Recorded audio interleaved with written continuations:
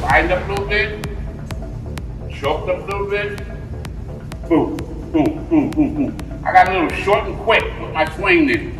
And I let the ball travel more. That's where that range come in. To stay on the ball longer, stay on the ball longer. As you get older, they're gonna start throwing curveballs, change ups.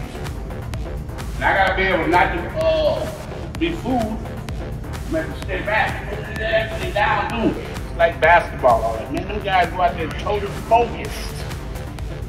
Mental part is so very, very, very important in the game.